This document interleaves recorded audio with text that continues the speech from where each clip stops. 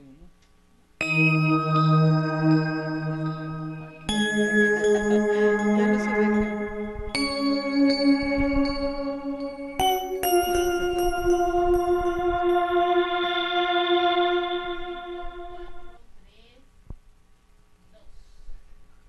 Tardes, bienvenidos. Aquí estamos en Crónicas de la Ciudad, la voz de las delegaciones a través de sus cronistas. Y hoy estamos en la segunda parte de una charla con la cual nos quedamos pero picados, picados, a propósito de la delegación Benito Juárez. Y con nosotros está nuestra querida antropóloga María de Jesús Real. Bienvenida, María de Jesús, ¿cómo estás? Muy bien, muchas gracias. Pues muy contenta de oír a estos chicos que se acaban de ir, que cantan precioso. Una voz preciosa. unas voces maravillosas. Yo creo que van a ser nuestras próximas estrellas del futuro. Bueno, estrellas ya son. Ya. Pero, estrella la que nos iluminan también hoy. Tú eres una de ellas. Realmente. Gracias, por favor. Bueno, eh, cruzamos a otro ámbito de cosas. La vez pasada nos quedamos con ganas de ver imágenes. Sí, claro. Y de irlas comentando, porque aunque la charla evoca la imaginación, no hay nada como la fotografía. Y tú nos traes unas fotos preciosas. Sí, vienen unas imágenes eh, de las ladrilleras, como era antes, lo que habíamos estado platicando, el Parque Hundido, ¿no? El eh, Parque Hundido. Que ahora pues todo el mundo lo conocemos así como ese eh, maravilloso parque sobre insurgentes y que cuenta con un audiovisiorama y una...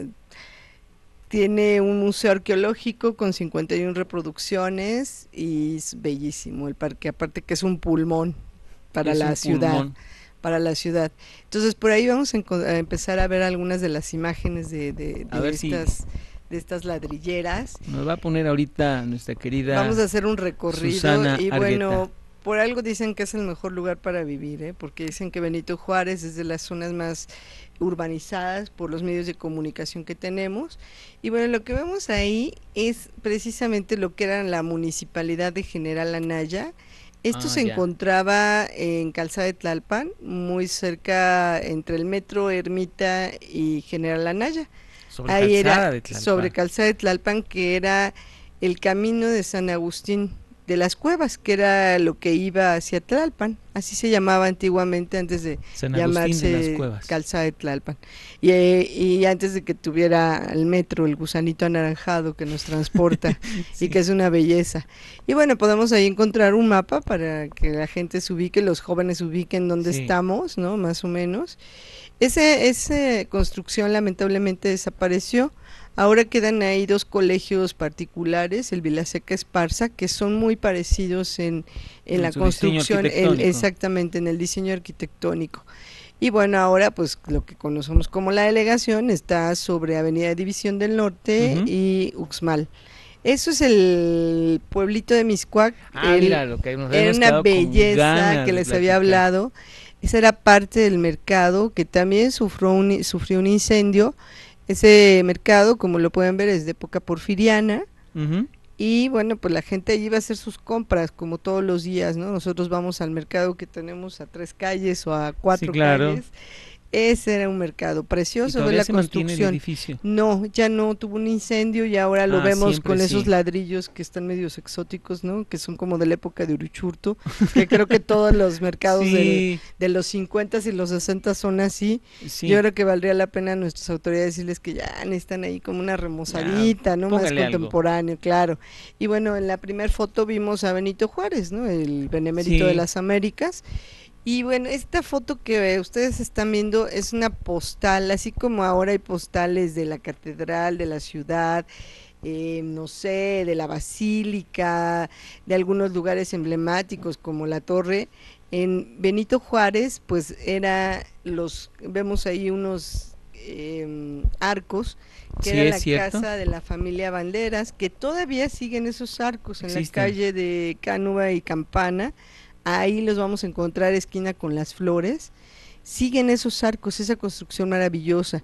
Y lo que tenemos arriba es la construcción, la casa de lo que fuera el señor Ives Limantur, quien fuera el ah, secretario de Hacienda. Limantur con Porfirio Díaz. Con Porfirio Díaz. Qué barbaridad. Y vemos algunas casonas antiguas. Déjame hacerte una pregunta. Sí. Lo que pasa es que eh, se me está antojando como conocer la delegación en un tour ¿Hay algún tipo de trabajo que hagan los cronistas sí, así para claro, hacemos tour. Sí. La semana pasada, el jueves, para ser exacto, le hice un tour a unas maestras jubiladas y las llevé al Teatro de los Insurgentes, después fuimos al Parque Hundido a hacer este recorrido eh, maravilloso con las eh, reproducciones arqueológicas, entramos al audiovisiorama que es precioso para oír música, nos sentamos, nos relajamos y seguimos nuestro camino eh, por todo Insurgentes, viendo algunas construcciones como el Poliforum, ¿no? que está hermoso, el, fue pintado por Siqueiros,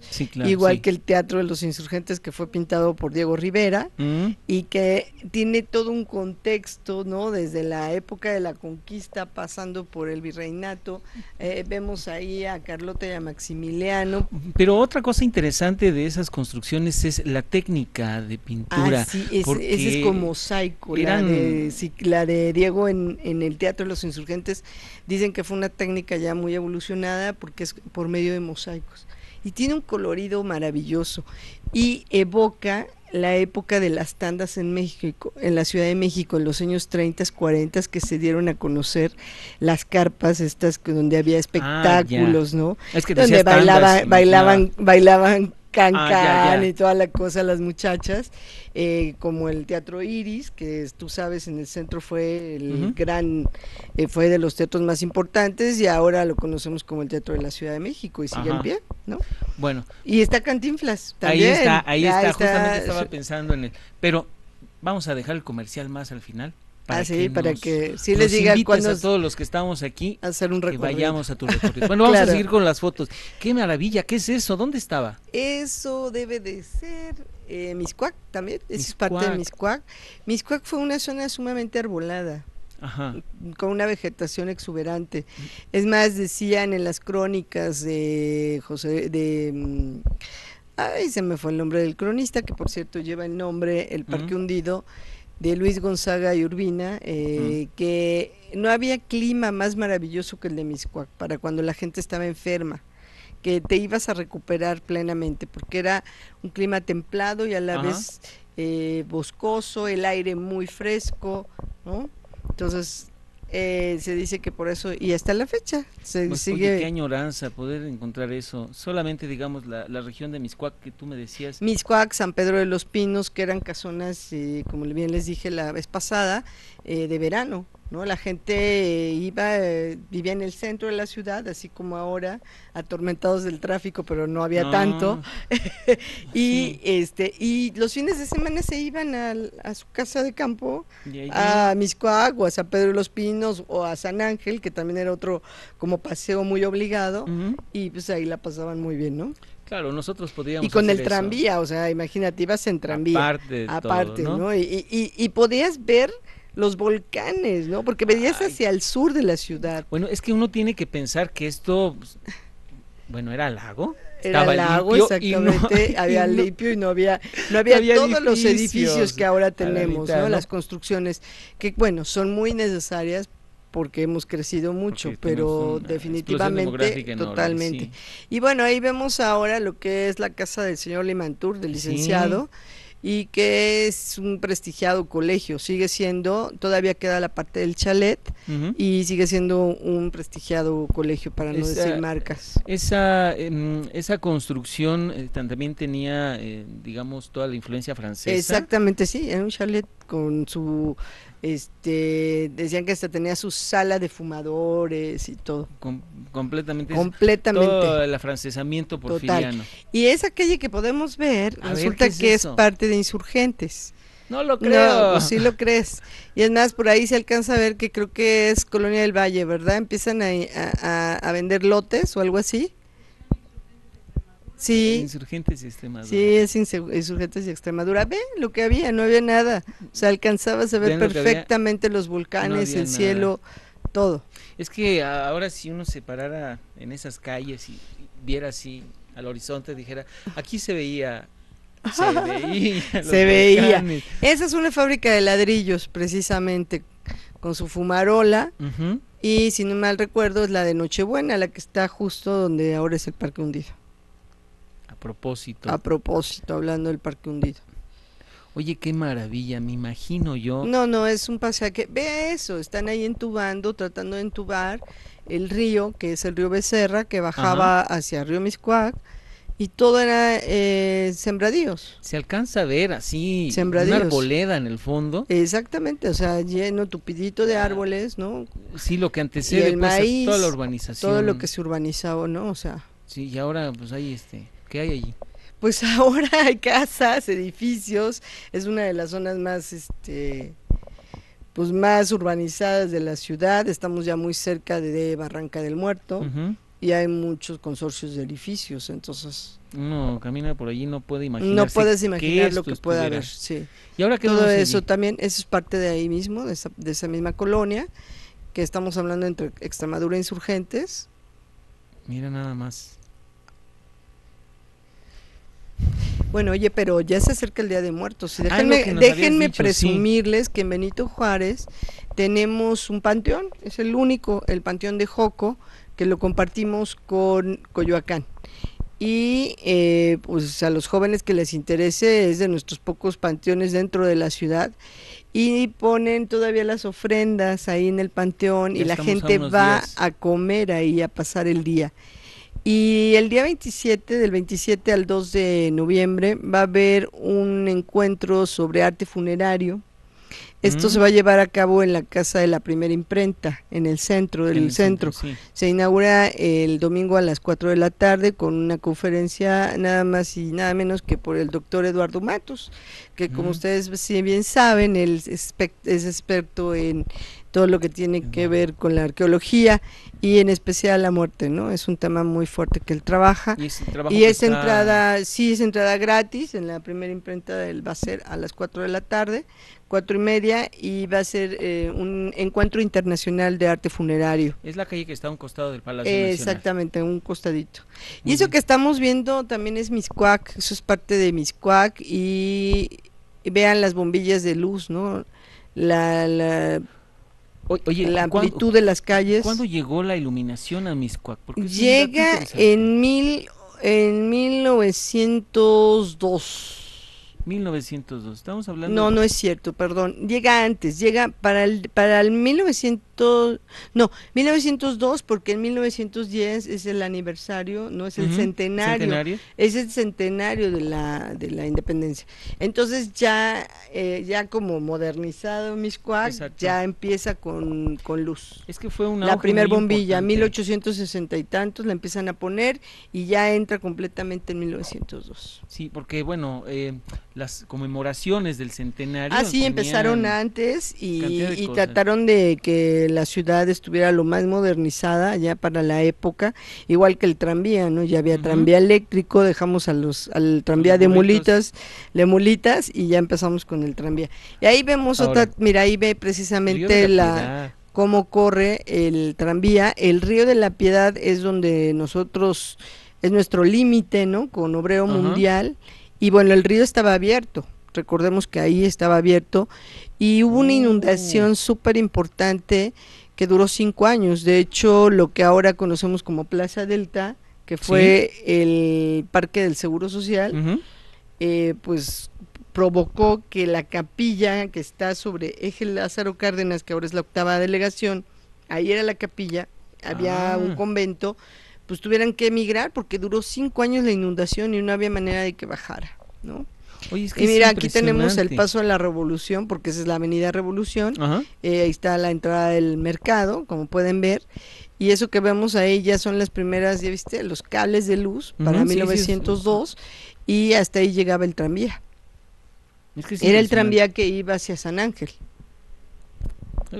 recorrido Enorme y lejísimo. Enorme, porque venía desde el centro y iba hasta San Ángel, o sea, sí era un buen. Y ahí vemos, mira, el tranvía con los revolucionarios, porque por Benito Juárez pasó la revolución. Eh, ahí donde está el Estadio Azul y la Plaza de Toros, ahí se comenta que Zapata tuvo un, un campamento. Un campamento. Un campamento, entonces sí pasó y hubo leva y se llevaron gentes y como toda la revolución, ¿no? Hubo hambre también, mucha hambruna en esa parte de, de Miscuac, siendo que era de un nivel alto, ¿no? Acomodado.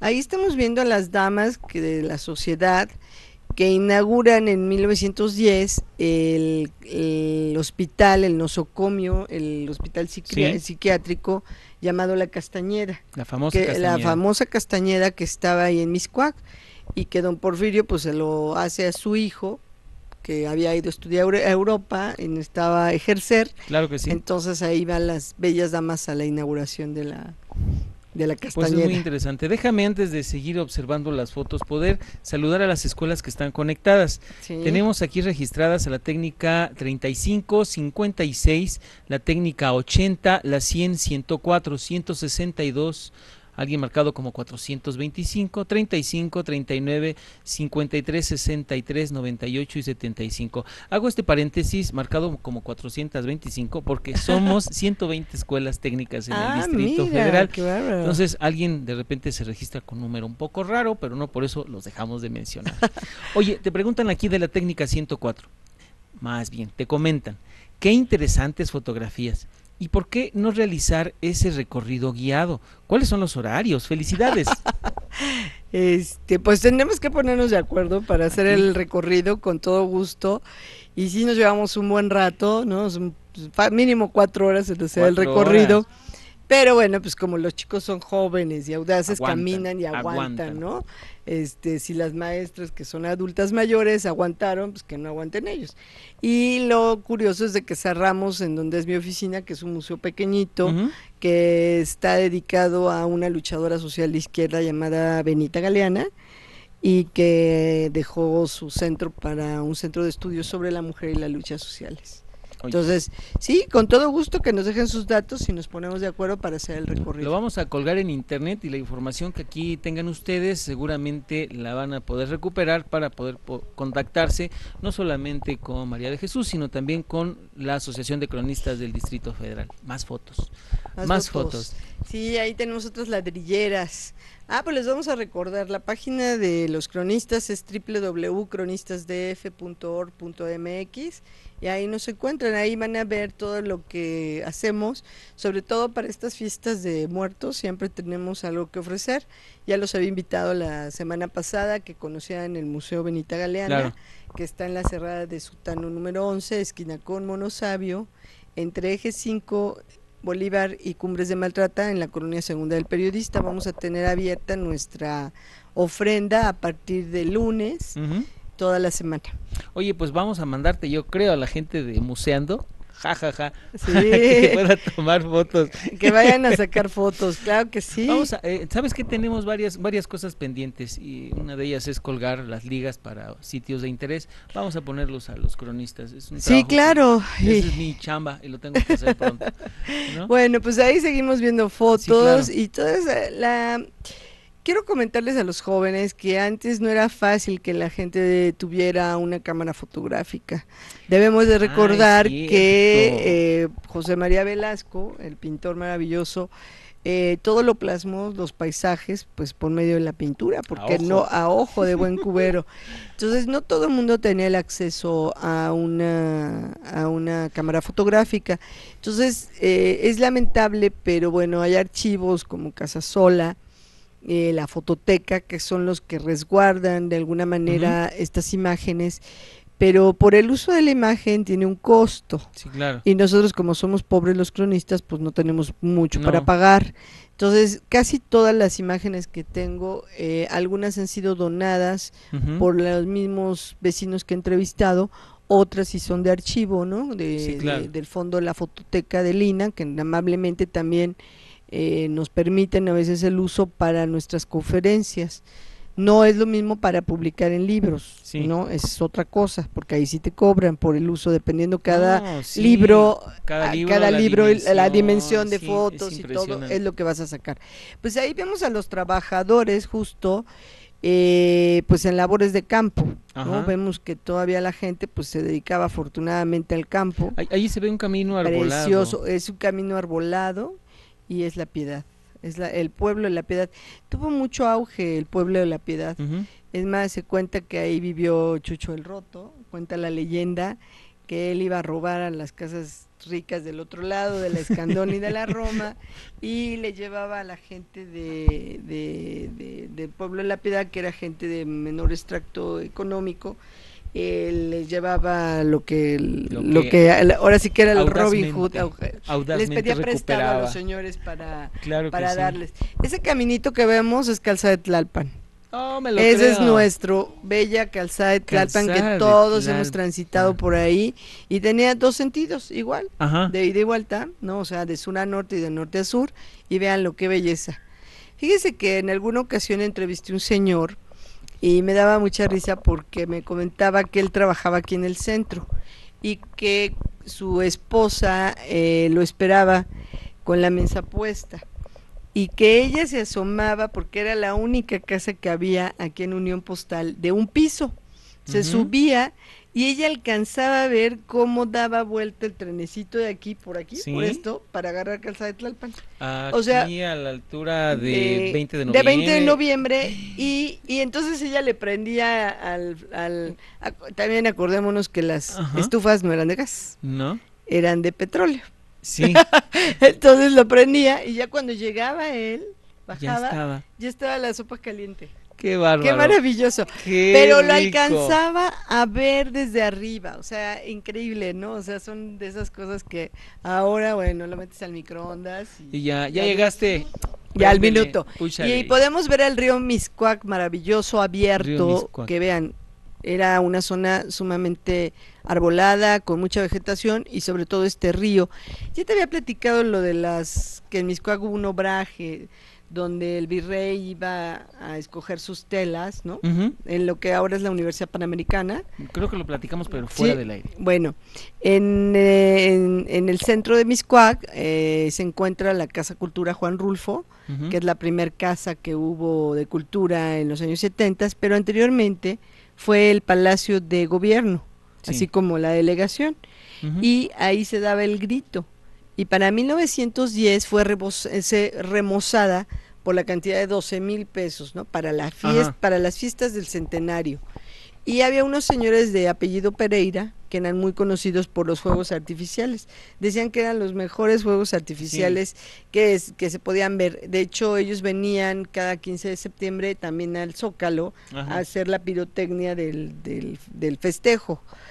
Y bueno, e, es la casa se podría decir municipal. Enfrente está la Casa del Obraje, que fue eh, esta casa para la época del siglo XVIII, un lugar donde se hacía, se tejía la seda.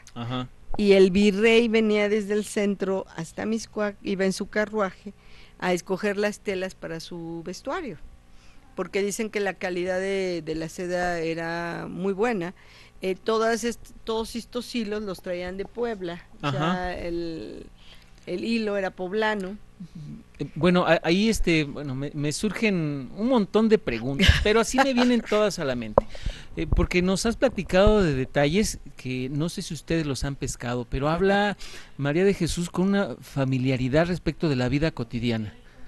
De la vida cotidiana, o sea, te habla este de que utilizaban este estufas de petróleo, veía el tranvía, la señora trabajaba y tal cosa. Y luego los vestuarios, y los vestuarios vienen para acá y entonces, pero es que esos detalles son tan ricos, tan deliciosos poder desmenuzarlos. Por ejemplo, esto, el, el, el caso de que hablamos de Miscuac, un asentamiento urbano diferente del distrito, de, no, perdón, de la Ciudad de México, de la Ciudad de México, que estaba ubicada pues no sé, ¿a cuántos son? ¿10? 10 kilómetros. yo creo que más, como mm. unos 15 mil kilómetros. No, más o menos unos 10 kilómetros de la, del centro de, la, ciudad, Del centro de la ciudad. Pero ya estamos entonces haciéndonos un mapa geográfico. ¿No? O sea, de la Ciudad de México, la Ciudad de México a Miscuac. y de Miscuac a Puebla. Y el tránsito de las sedas. El traían los hilos y acá los en los telares con el agua, con la ayuda del agua tú sabes que eso servía como dínamo, como un dínamo para, para este que las máquinas trabajaran, trabajaban con el pie que lo, que lo ejercían y los señores con su habilidad iban tejiendo la, la, tela. Ahí está el detalle que yo les quería decir, con el que María de Jesús no, suelta las cosas así como si nada. Es que, ¿cuál es la importancia geográfica del río?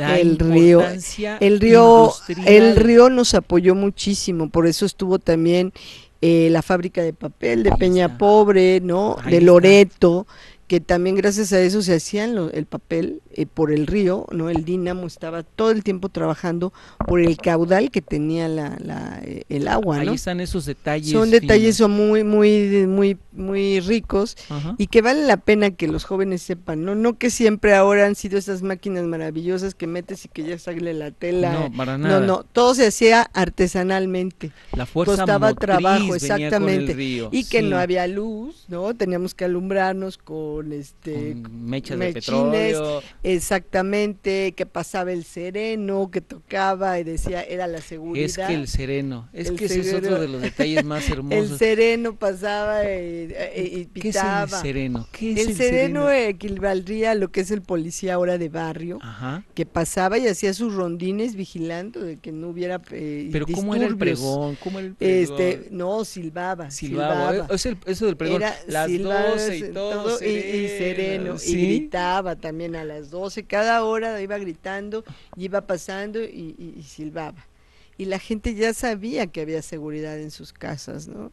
Bueno, eso se decía. Eso se eh, decía. Ahora ya, este, pues oímos las sirenas de las... Hoy oímos la sirena. Las sirenas. Bueno, es que esos detalles de la vida cotidiana son tan deliciosos desmenuzarlos. Nos transportamos en el tiempo. Chicos, la máquina del tiempo sí existe y para eso nos vamos a apoyar más en las más fotos que tienes por allí. Pues mira, estamos viendo estamos viendo ahora lo que es el, eh, lo que es el Hotel, el Hotel de México, que fue el primer proyecto.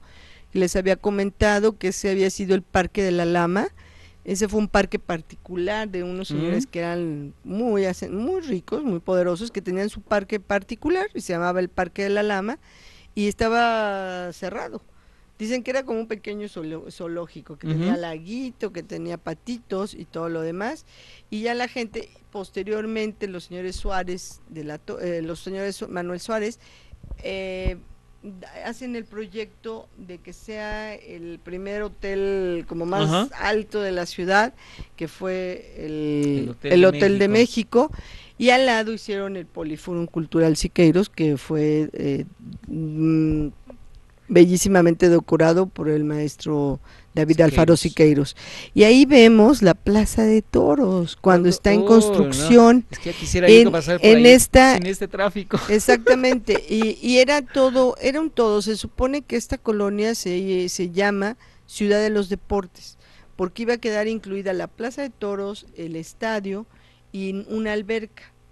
Posteriormente, no sé qué pasó con los constructores, algún rollo, y eh, pues la alberca no queda ahí, sino la alberca queda del otro lado, en los terrenos de General Anaya, y es hecha para, la, para los Juegos Olímpicos del 68.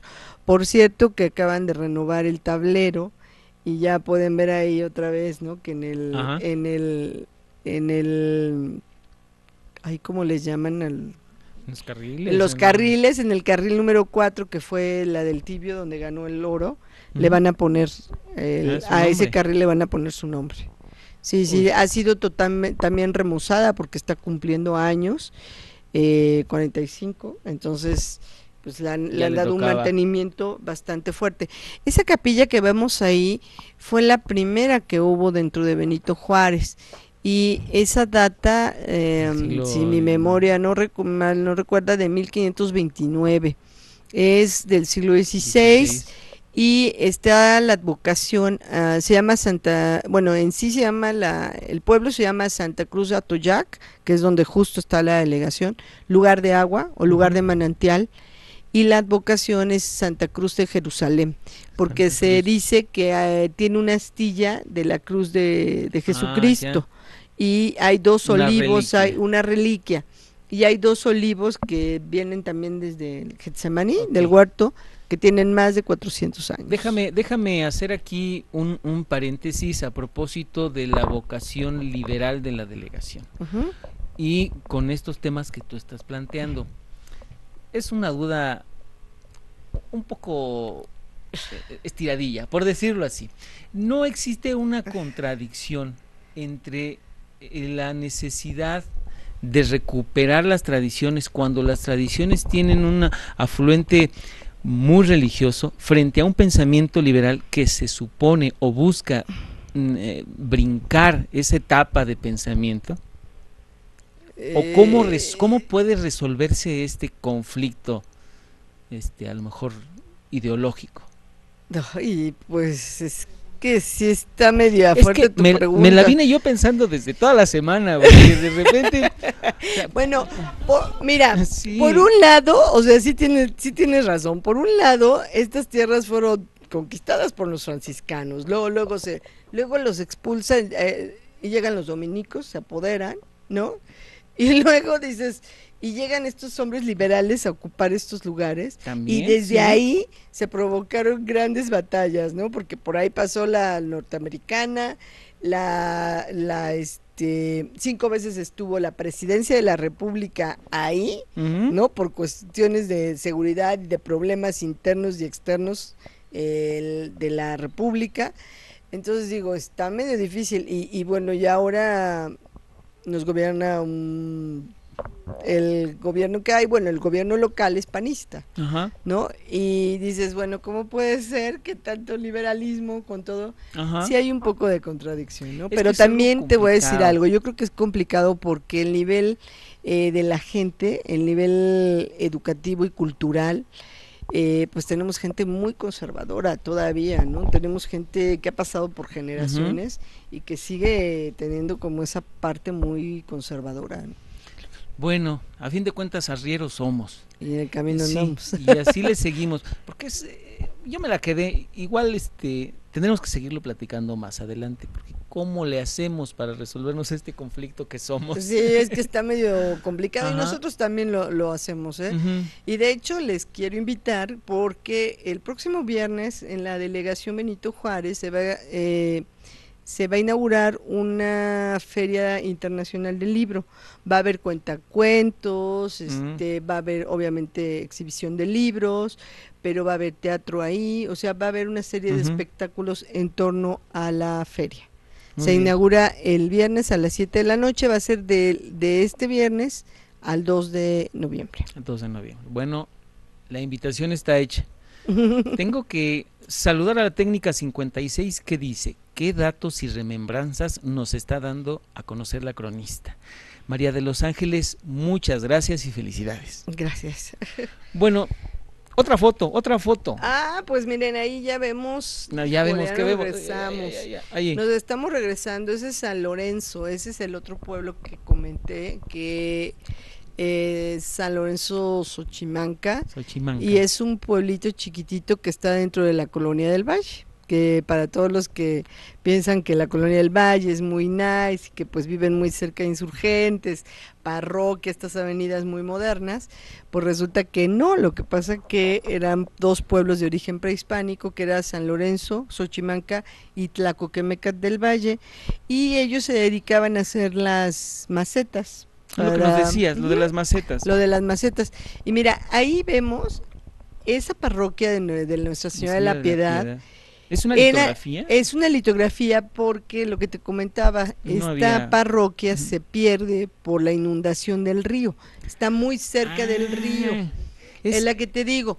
Y entonces lo único que quedan son la, unos, unas arcadas que dan sobre Lázaro Cárdenas y ahora es la octava delegación.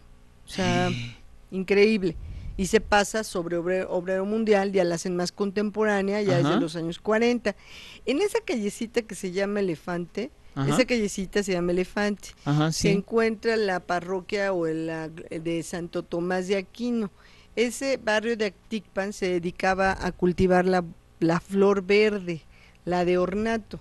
Fíjate, los de San Ángel, las flores. Sí. Acticpan la flor verde para hacer los arreglos. Y los de Tlaco, las macetas. O sea, había una conjunción de intercambios, ¿no? que tenían que ver. Y bueno, dentro de los personajes famosos que hablábamos es eh, Valentín Gómez Farías, que este liberal, masón, ah. que no dejaba ir a su esposa a la actividad religiosa enfrente, eh, tenía sus broncas bien fuertes con ella, eh, y que tuvo también la presidencia y la vicepresidencia de la República en dos ocasiones, esa fue su casa. Ah, y ahora es el Instituto de Investigaciones Históricas, doctor José María Luis Mora. Y es preciosa, ¿eh? la siguen teniendo igual. Y cuenta la leyenda, ¿eh? para los niños que les gustan las leyendas, que como don Valentín no era tan católico, en las noches sale en su caballo y su capa negra a dar la vuelta por ahí, que sale, que anda revoloteando, porque él fue enterrado en su en, su, casa, En, el, en, la huerta de su casa y posteriormente, ya para los años 30, se lo llevan a la rotonda de los hombres ilustres, como debe de ser, ¿no? y actualmente, pues esas son las instalaciones de la delegación Benito Juárez, que también fueron ladrilleras. Ay, pero no le encontraron una arquitectura más Fíjate que muy, la veo muy clásica, pero dentro de todo creo que es de las más bonitas que hay. Las otras están menos, feas. Esa es la capilla de Santo, San, Santa Cruz Atoyac, que es la que les digo que tiene la reliquia de la cruz de Jerusalén, la astilla de la reliquia. Y de hecho, si la ven, ha sido nuevamente remozada, quedó como era, porque también no faltó un padrecito que le, no, hay que ponerle unos arquitos, se ve padrísimo. Y pasó algo muy curioso, hace dos años eh, volvieron a hacerle un ritual a la cruz. La cruz atrial se comenta que era un tlaloc, porque la advocación es a la lluvia.